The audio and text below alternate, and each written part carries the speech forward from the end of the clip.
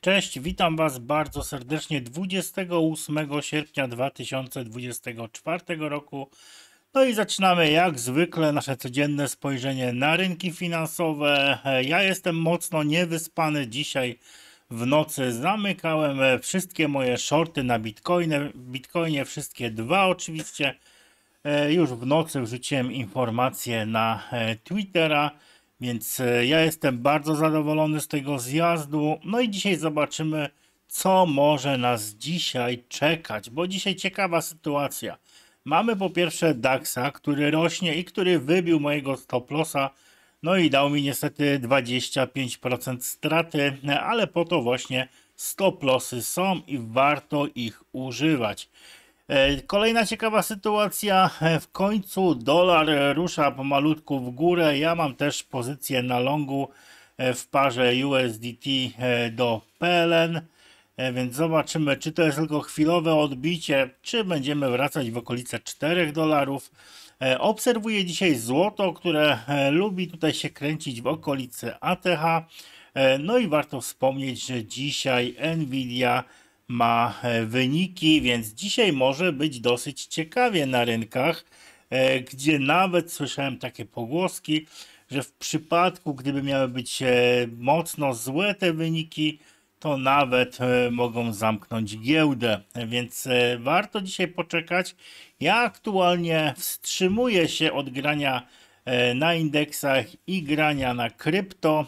Mam co prawda na towarach e, jeszcze otwarte pozycje, chociażby pozycja z wczoraj, e, pozycja na, gdzie kakao Wam opisywałem w takim długim terminie, no i tam bardzo fajnie pozycja zareagowała, tuż po otwarciu cena poleciała w dół. Ja już też zabezpieczyłem sobie na wejściu, więc cierpliwie czekam, najwyżej będę na zero, E, no a dzisiaj zobaczymy sobie oprócz kryptowalut jeszcze ropę, która również wygląda bardzo interesująco. E, więc zanim zaczniemy sobie, e, zanim przejdziemy do wskaźników, to tylko wspomnę o tych moich dwóch pozycjach, które zamknąłem. Jedna na 118% zysku, druga na 204%. No i zamykałem to 10 godzin temu, tuż przed pierwszą w nocy. E, więc bardzo fajnie i widzicie, warto czasem poczekać. No ja tutaj uśredniłem, no bo pierwsza pozycja była otwarta e, już na 62 743, no a druga powyżej 64 tysięcy, więc koniec końców bardzo fajnie dały zarobić. E, więc póki co krypto odpuszczam, czekam co się dzisiaj ciekawego wydarzy. Myślę, że będzie interesujący dzień. E, no i przypominam, że w piątek nie będzie nagrania z codziennej analizy. Jutro postaram Wam się z trasy nagrać takie e, nagranie, e, a w piątek po prostu sobie odpuścimy. Może w sobotę zrobimy jakiegoś live'a bądź nagram film. Ale nie będę Wam tutaj w ciemno obiecywał. Więc lećmy sobie standardowo do CoinMarketCap, gdzie w ostatnich 24 godzinach Bitcoin 5,6% na minus, Ethereum aż 8,2%, więc sporo tutaj e, nam Ethereum traci. E, największe wzrosty zaliczył Popcat 5% na plus, a największe straty z pierwszej setki zaliczył Phantom, czyli FTM 12,5% straty, więc e, dosyć sporo, no ale przy takim zjeździe altcoiny lubią mocno tracić. Lećmy dalej. Wskaźnik strachu i chciwości bardzo szybko z poziomu 48 wrócił na poziom strachu, na poziom 30, natomiast altcoin season index trochę podskoczył na poziom 24. No i likwidacje, sporo tych likwidacji zostało zebranych. Zobaczmy sobie w liczbach jak to wygląda.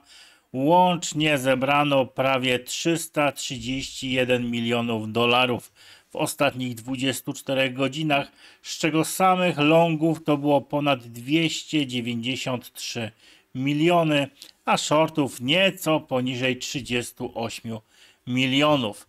Warto wspomnieć, że zlikwidowanych zostało prawie 90 tysięcy traderów, a największa pozycja zlikwidowana w ostatnich 24 godzinach to było, była pozycja na Binance Ethereum do Bitcoina i było to 12,67 miliona dolarów, więc spora pozycja uległa likwidacji.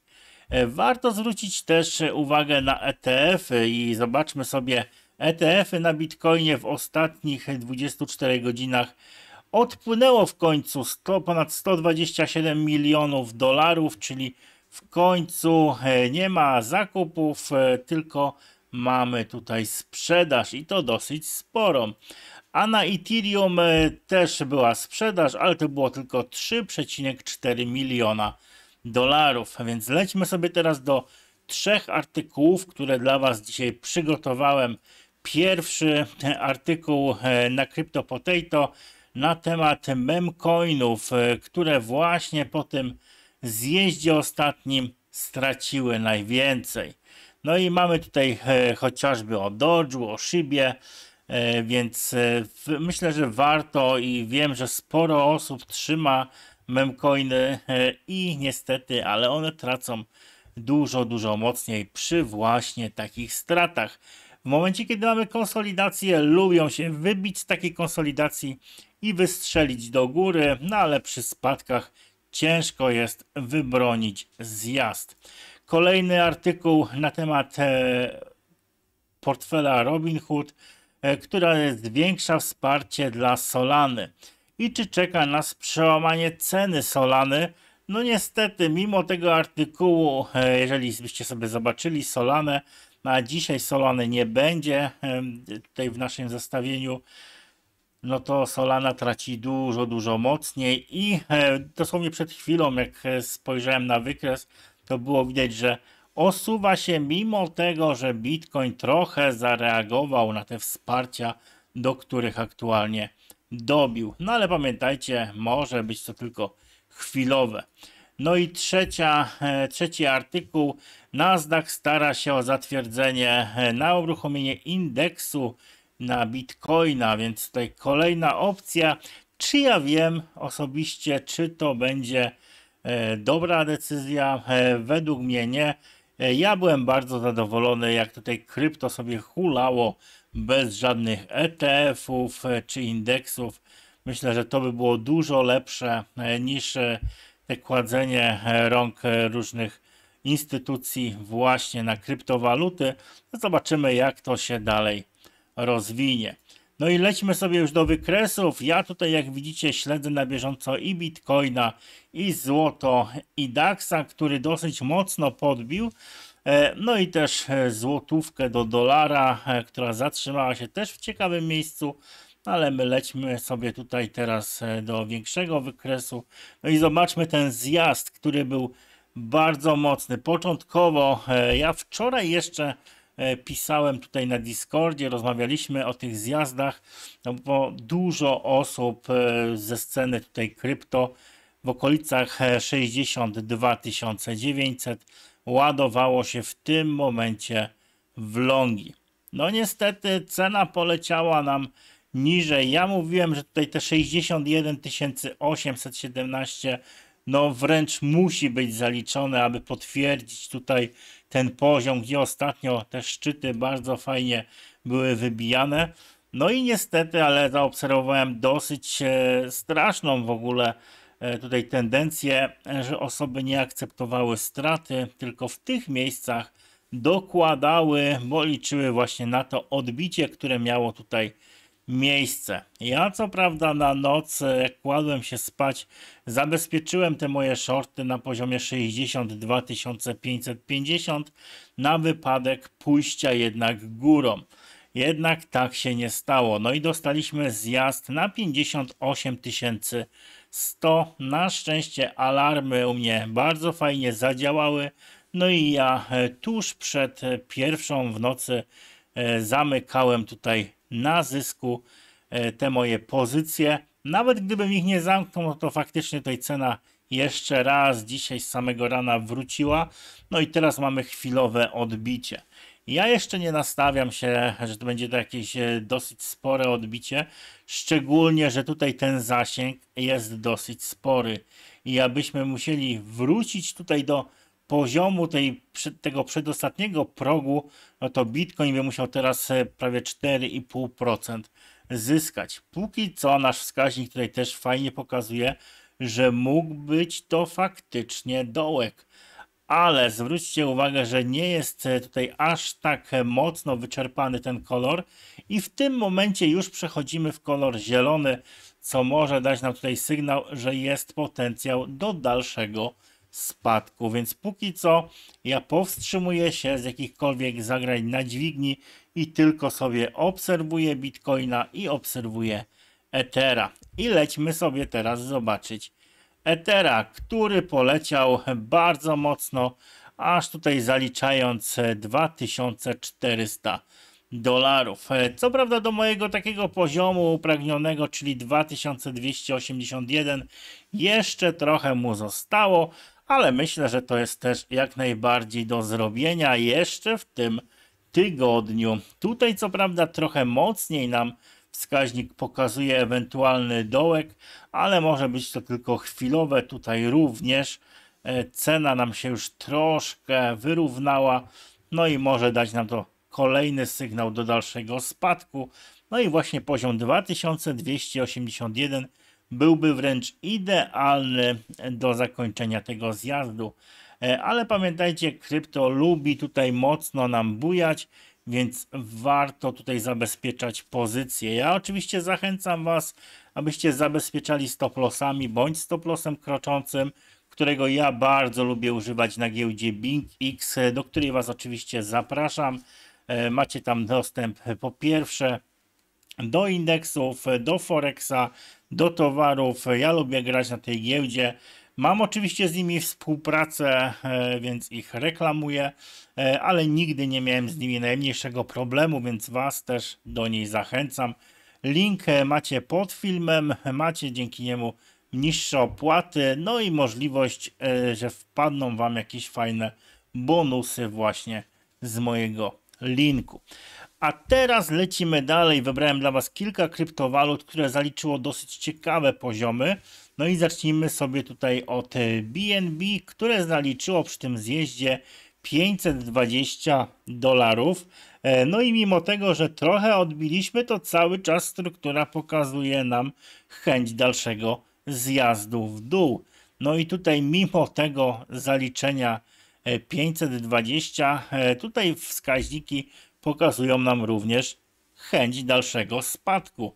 Więc ja tutaj jeszcze bym e, nie składał broni, ale przy ewentualnym podbiciu chociażby do, do 565 myślę, że to byłby fajny poziom do rozegrania shorta, ale jak dobrze wiecie, ja nie lubię rozgrywać zarówno na BNB shortów, jak i na Doju, bo one lubią być sztucznie pompowane, więc sobie odpuszczam, ale będę zaglądał jak najbardziej tutaj e, w ciągu najbliższych dni. Teraz lecimy sobie zobaczyć XRP, które dosyć ciekawie się tutaj utrzymywało, ale dostaliśmy również ten zjazd spowodowany tą wyprzedażą. No i zaliczyliśmy idealnie wsparcie na 55,5 centa. E, no i tutaj odbicie było dosyć mocne że dobiliśmy prawie do tej zielonej linii trendu wzrostowego, która niestety, ale będzie nam teraz hamowała dalsze wzrosty, tak jak mieliśmy to w połowie sierpnia. I jeżeli nie zrobimy szybkiego przebicia i utrzymania się powyżej tutaj 58 centów, no to można spodziewać się, że już niedługo znowu zobaczymy XRP tutaj w dolnej strefie w okolicach 55,5 centa. Więc tak wygląda XRP. Teraz lecimy zobaczyć Cardano, które aktualnie równiuteńko 35 centów. No i tutaj też dostaliśmy zjazd dokładnie do 34,5 centa, gdzie znajduje się najmocniejszy poziom wsparcia, który zarówno teraz jest wsparciem poprzednio w okolicy tutaj początku sierpnia był dosyć mocnym oporem, no i miejmy nadzieję, że teraz również będzie bardzo mocnym wsparciem, bo niestety, ale przebicie tego poziomu i zjazd w dół może faktycznie znowu nam tutaj e, pokrzyżować trochę plany, na przy odpowiedniej strukturze może nam tutaj dać pattern, e, głowę z ramionami, e, co symbolizować będzie dalszy spadek, więc na to warto zwrócić uwagę. Ja na szczęście Cardano pozbyłem się już dawno, e, ale bardzo chętnie do Ady zaglądam e, i patrzę, co tutaj się ciekawego dzieje, bo wiem, że dosyć sporo osób z Was trzyma jeszcze tą kryptowalutę u siebie na portfelach. E, a teraz lecimy sobie do mniej znanej kryptowaluty, ale ja ją dosyć często tutaj do niej zaglądam. Jest to Coin Alice, którego kilkukrotnie już rozgrywaliśmy na Binance, ponieważ e, na BingX nie ma go na futures, jest jedynie opcja zakupów na spot. No i dostaliśmy bardzo fajny zjazd, e, gdzie z poziomu $24 zjechaliśmy do tego najmocniejszego wsparcia, które znajduje się idealnie na poziomie 1 dolara. No i odbiliśmy idealnie w punkt. No i widać, że tutaj w okolicy 19 e, sierpnia bardzo mocne tworzyło nam wsparcie. Aktualnie jest bardzo podobna sytuacja. No i również nasz wskaźnik Discordowy pokazuje nam fajnie złapany dołek. Czy się utrzyma, czy też nie, ciężko powiedzieć. E, jeżeli faktycznie bym miał rozegrać, to odważyłbym się rozgrywać to na longa. A my lecimy sobie dalej. Zobaczmy teraz Digibyte, e, które zaliczyło bardzo mocny zjazd z 0,8 centa. Już po raz kolejny ten poziom został e, wykorzystany do spadku. No i aktualnie e, nieco ponad 60 centa za jedno Digibyte. No i tutaj jesteśmy bardzo blisko kolejnego wsparcia. Co ciekawe, tutaj ja mocno pokazuję wskaźnik, e, że bardzo szybko zbliżamy się do dołka, więc możliwe, że będziemy mieli jakąś szybką reakcję wzrostową. Czy będzie, czy też nie. E, nie mam szklanej kuli, e, aby tutaj wywróżyć coś takiego, ale staram się przedstawić to jak najbardziej tutaj rzetelnie. No i co ciekawe, tutaj nasz wskaźnik również pokazał, bardzo fajnie ten szczyt, którego ja niestety nie rozgrywałem. Nie zaglądam zbyt często do Digibate, ale dzisiaj od samego rana przeglądając sobie mnóstwo wykresów, rzuciło mi się to od razu w oczy, no i stwierdziłem, że warto o tym wspomnieć w dzisiejszym nagraniu. Lećmy dalej i kolejne to jest DOT. DOT dawno nie było w naszym nagraniu, no ale dzisiaj wlatuje ze względu, że przy tych spadkach zaliczyliśmy ponownie wsparcie na 4,23. I tutaj niestety, ale mam gorszą wiadomość. Mimo tego, że to wsparcie jest bardzo mocne, nie ma takiej reakcji, e, której ja bym się spodziewał. No i tutaj e, spodziewam się raczej zejścia e, pod ten poziom, który będzie tworzył ostatecznie dosyć mocny opór e, na DOT.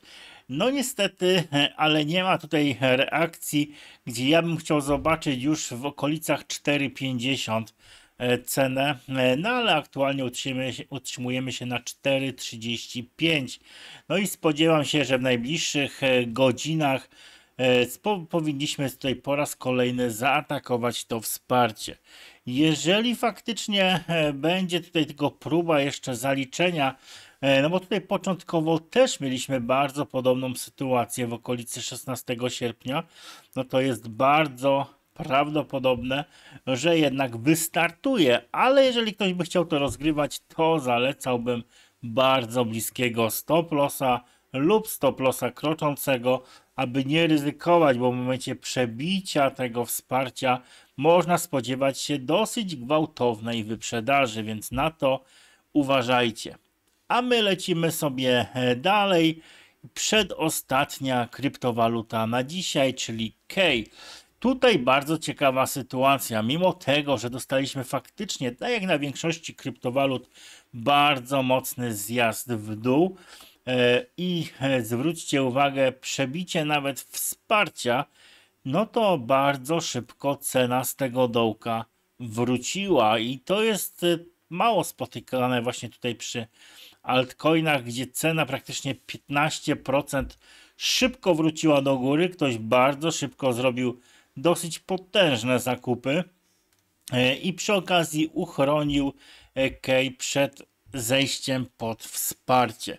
Wsparcie, które aktualnie znajduje się na 0,004496, ale póki co e, trochę tutaj jeszcze nam brakuje i myślę, że nie będzie sytuacji, żeby cena ponownie tutaj spróbowała zaliczyć nam ten poziom. Zapewne kolejne zlecenia już się tutaj ustawiają. No i będę zaglądał e, tutaj z ciekawości, co się dalej dzieje, szczególnie, że mam e, troszkę e, tej kryptowaluty u siebie w portfelu, więc dosyć ciekawa sytuacja, że tak szybko poszło to wykupienie. A teraz lecimy sobie zobaczyć optymizm, które zachowuje się bardzo technicznie.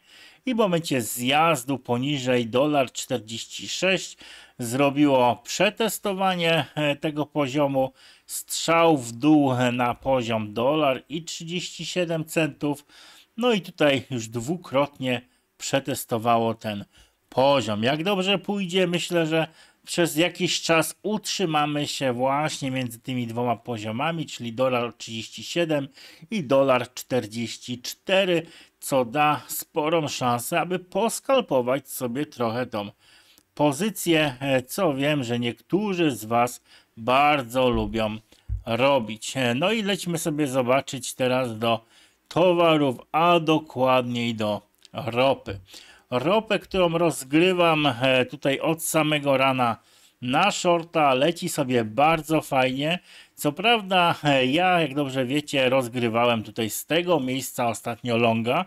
No i przed weekendem zamykałem sobie tutaj tuż przed tym tą czerwoną strefą, która z dosyć silną strefą, która się faktycznie potwierdziła.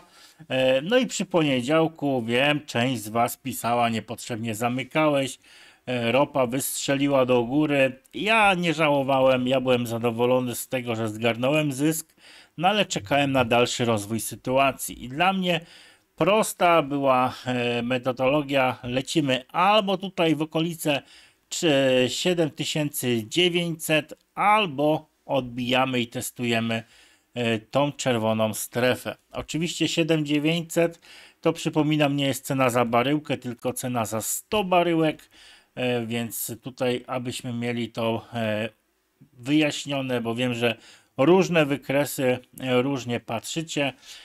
No i tutaj faktycznie stało się bardzo technicznie, czyli dostaliśmy zjazd i jak sobie zobaczycie, dostaliśmy przetestowanie właśnie tutaj tej czerwonej strefy. No i tuż po odbiciu my już na Discordzie wbijaliśmy w shorty pod to.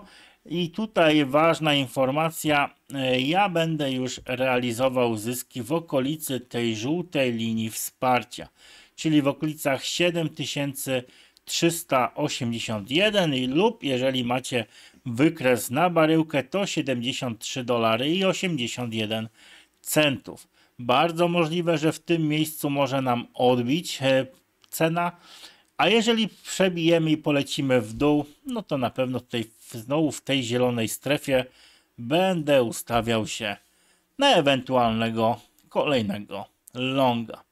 Ja dziękuję Wam serdecznie za dzisiaj. Dzięki za wszystkie lajki, suby i za komentarze. No i za wszystkie komentarze i serduszka na Twitterze. E, widzę, że tam jesteście bardzo aktywni e, i to mnie bardzo cieszy, bo widzę, że budujemy tutaj dosyć fajną społeczność, e, taką kryptowalutową. Mam nadzieję, że to się będzie dalej tak rozwijało. Jeżeli ktoś ma ochotę, wiem, że jest kilka miejsc, aby dołączyć do Discorda, więc można wbijać. Co prawda jest tam ilość osób ograniczona e, ze względu, że nie chcemy zbyt dużego tłoku, więc jak ktoś chce może wbijać. E, no a my słyszymy się jak zwykle jutro. Pamiętajcie, że w piątek nie będzie nagrania, więc e, słyszymy się jutro, a później dopiero w poniedziałek. Dzięki za dzisiaj i do usłyszenia do jutra. Hej.